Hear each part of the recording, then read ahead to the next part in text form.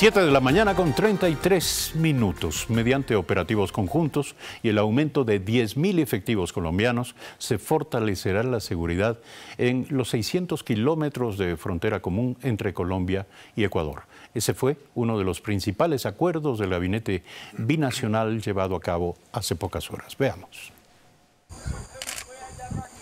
La seguridad en frontera continúa siendo la prioridad para Ecuador y Colombia, un aspecto que ahora será fortalecido. Hemos decidido ambos países de avanzar en una estrategia de operaciones conjuntas, ya no solamente de intercambio de información. Nosotros vamos a tener el mismo personal. Colombia ha dicho que va a poner más de 10.000 efectivos nuevamente en la zona de frontera, eh, adicionales a los que existen en este momento, pero que van a tener ya destacamentos fijos. El presidente Juan Manuel Santos incluso determinó una mayor recompensa para quien dé información del responsable del atentado en San Lorenzo o cualquier tipo de acción similar. Y hemos decidido duplicar la recompensa a 300 millones de pesos para cualquier persona colombiana o ecuatoriana porque él usa la frontera que nos dé información que nos permita eh, capturarlo. Por ello, el gobierno ecuatoriano ha ratificado su compromiso de impulsar los diálogos de paz entre Colombia y el Ejército de Liberación Nacional. La paz de Colombia es nuestro compromiso, la paz de Colombia es nuestra paz.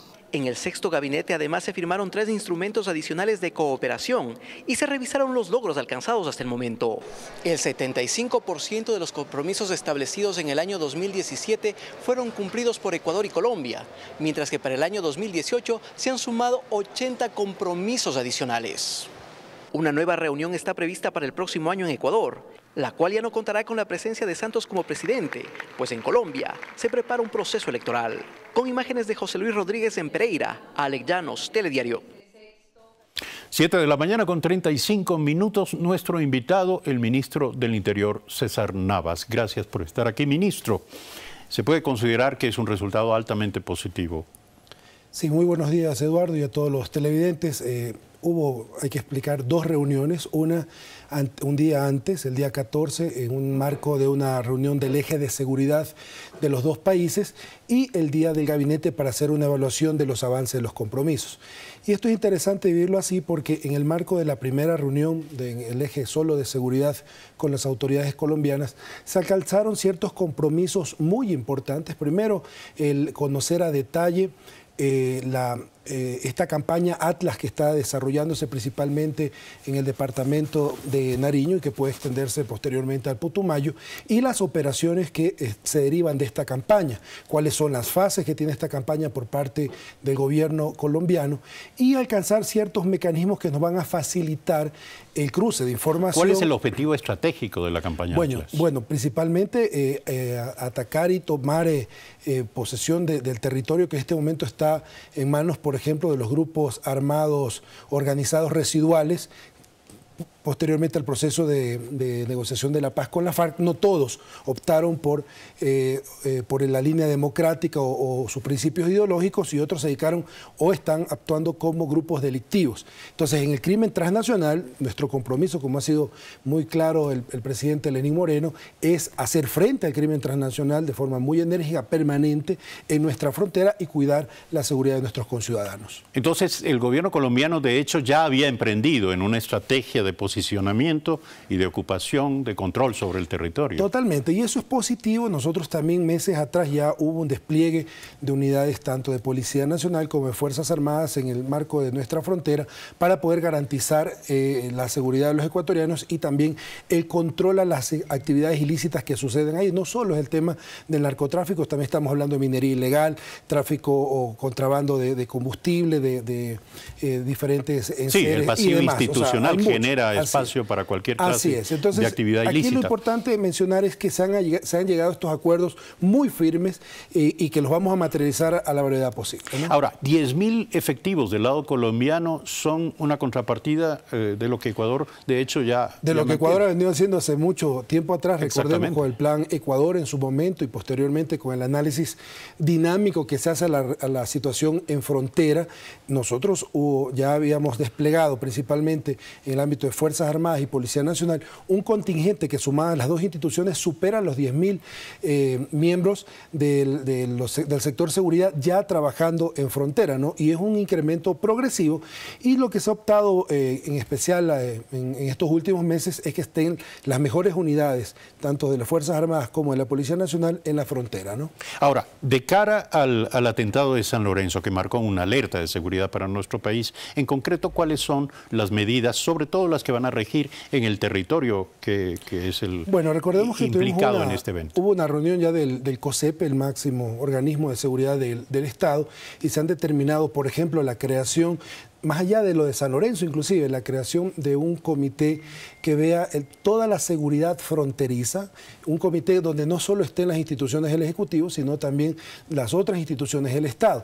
Esto es importante para tener una articulación permanente, por ejemplo, con la Administración de Justicia y también sobre todo con el desarrollo y el progreso de la zona fronteriza. Pero hablar de todo el cordón fronterizo es, digamos, un poco complejo. Estamos hablando de 600 kilómetros. es complejo, pero hay que verlo así, porque si tú comienzas a aislar, mira, aquí hay que vivir lo que está pasando en Nariño, especialmente en Tumaco, pero no hay que eh, desconocer el, potencial riesgo que podría existir también en el área del Putumayo, no en el lado colombiano. No, y la presión militar en, en un punto podría desplazar a estos grupos. Totalmente, totalmente. No, y son grupos que en este momento están interactuando inclusive ya con el crimen organizado de otros países, ¿verdad? Que los contratan o sirven eh, como entes o brazos armados de estos otros países para poder eh, facilitar la línea logística en el contrabando de combustible, digo línea logística, pero se trata de dar el resguardo, por ejemplo. ¿no? Nosotros eh, aquí hay que aclarar algo, Eduardo, ¿no? producto de, del trabajo que se ha venido realizando en los últimos meses, hemos capturado ya siete personas, siete existen siete detenidos de lo que eh, nosotros presumiblemente ya tenemos identificado a este grupo de alias Guacho. ¿Ya? Entonces ya hay siete personas detenidas de ese grupo, hemos capturado más de 7.5 toneladas de precursores, más de 2 toneladas de droga, etc. Entonces ha habido una aplicación permanente de la política de control del Estado ecuatoriano en la zona de frontera. Ministro, usted firmó con el director de Migración de Colombia un acuerdo para implementar lo que se llama una plataforma de consulta migratoria. ¿Qué es esto? ¿Para qué sirve? Bueno, básicamente es para poder tener eh, la información en tiempo real de los antecedentes judiciales de las personas que ingresan a Ecuador y que salen del Ecuador, que ingresan y que salen de Colombia, nuestra frontera común. Sin duda alguna, eh, eso nos va a facilitar muchísimo el tema de control migratorio y también tomar ciertas medidas que nos permitan eh, autorizar el ingreso a las personas que deben ingresar al país.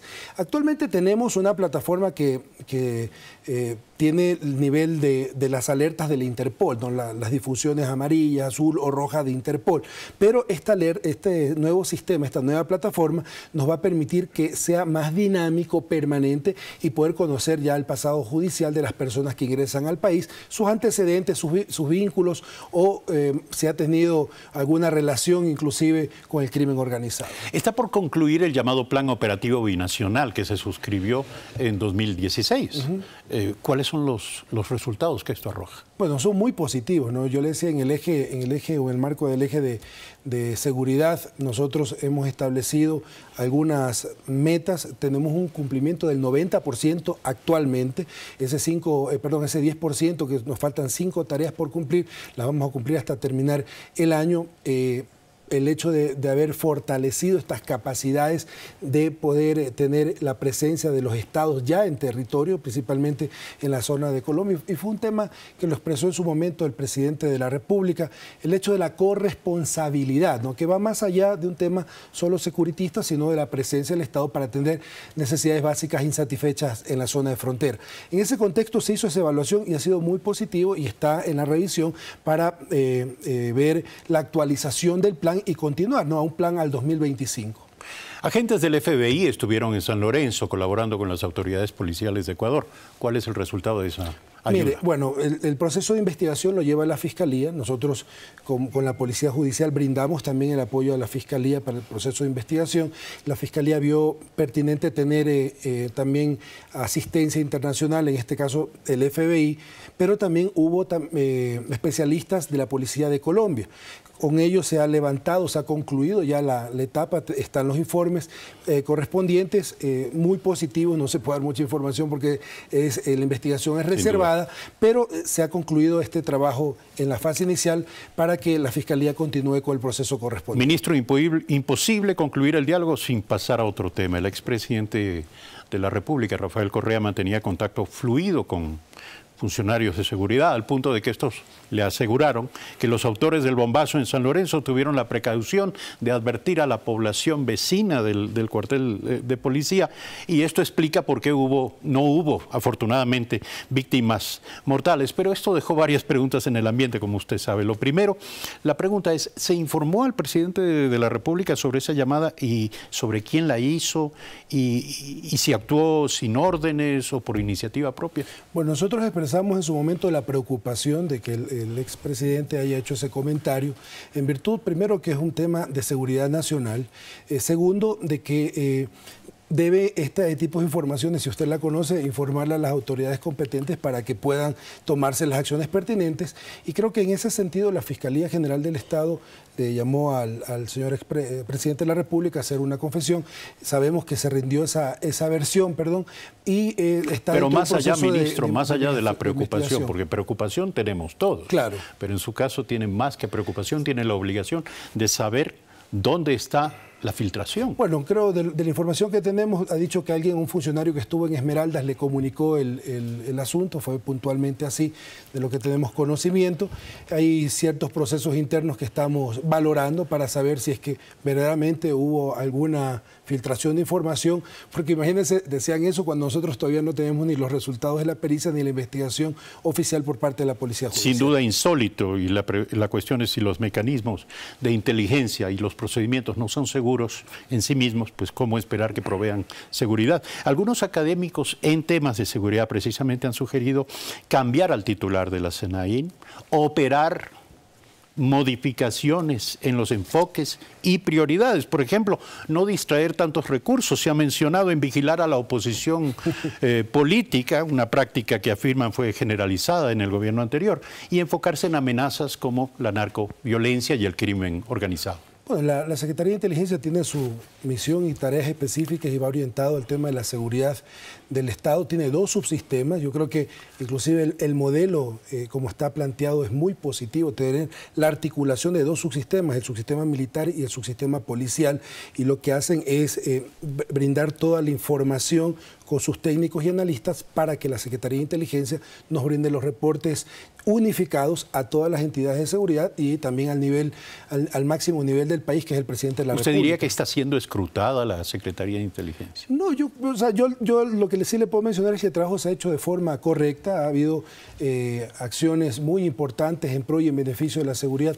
El tema puntual de la frontera eh, norte no es un tema que nació con el, con, el, con el incidente de San Lorenzo, con el atentado de San Lorenzo. Nosotros hemos venido trabajando en ese sentido, el fortalecimiento de las capacidades del Estado allá con los subsistemas de inteligencia. Ministro, para concluir, cirugía mayor a la eh, frente a la corrupción, dijo el presidente Moreno. Y Ecuador votó, en efecto, en la última, eh, en la última consulta popular por el destierro de la corrupción en la actividad política. Si aceptamos que la corrupción pudo costarle al país, a ojo de buen cubero, el 10% de los ingresos de la última década, estamos hablando de 30 mil millones de dólares. Visto así, no existiría nada más estratégico eh, para la seguridad del propio país que luchar contra la corrupción y esto es, esto significa eh, identificar a los responsables y sobre todo recuperar los recursos. La pregunta es, ¿cuál es el aporte de los organismos de inteligencia y seguridad en la lucha contra la corrupción. Lo estamos haciendo y comenzamos casa adentro, ¿no?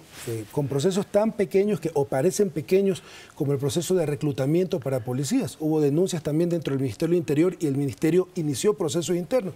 Y a requerimiento, a requerimiento de otras entidades y principalmente, lo, menciono una vez, pues lo estamos viendo el trabajo de intendentes, de comisarios a nivel del país, porque creo que la, la ciudadanía, como usted lo menciona, debe tener la certeza y la seguridad de que los procesos sean transparentes y de acuerdo a lo que todos, todo el pueblo ecuatoriano se ha pronunciado de forma unánime, combatir y desterrar la corrupción. Siete de la mañana con 48 minutos. Ministro, gracias por haber aceptado la invitación a este programa. César Navas, ministro del Interior. Y para concluir este espacio, si nos permite, ministro, a usted y a todos los televidentes, vamos a recomendarles la lectura de Diario El Telégrafo, que este día está de cumpleaños. Además, el Telégrafo cumple 134 años. El 16 de febrero de 1884 quedó marcado por la fundación de Diario El Telégrafo, el primer diario que nació al calor de las disputas entre liberales y conservadores en el país. El primer ejemplar del diario salió a las calles bajo la dirección del guayaquileño Juan Murillo y Miró fue el diario que, como muchos, sufrió los ataques de la intolerancia del poder político, lo que nunca le impidió ser innovador y tener en sus columnas algunas de las plumas más brillantes y destacadas de la cultura y de las artes en nuestro país.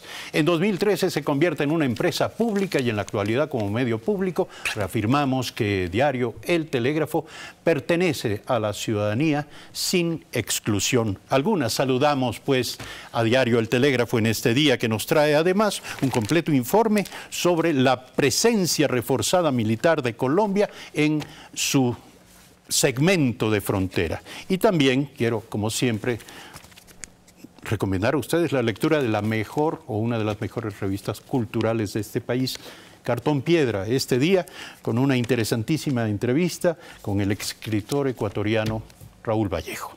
Gracias como siempre por su sintonía, 7 de la mañana, 49 minutos. Dispénsenos el habernos pasado de la hora tradicional y les esperamos el próximo lunes. Un buen fin de semana.